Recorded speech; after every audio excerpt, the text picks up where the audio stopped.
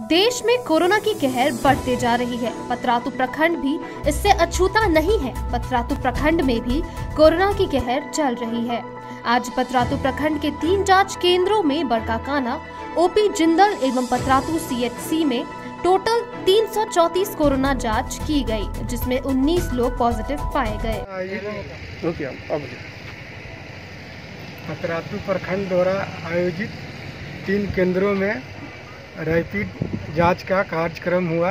कहाँ कहाँ हुआ ये? जिसमें बड़का काना स्टेशन और ओपी जिंदल और तीसरा नंबर सम, सामुदायिक स्वास्थ्य केंद्र पतरातू में 334 लोगों का रैपिड एंटीजन जाँच हुआ जिसमें 19 लोगों को पॉजिटिव पाया गया। आपका नाम क्या है sir?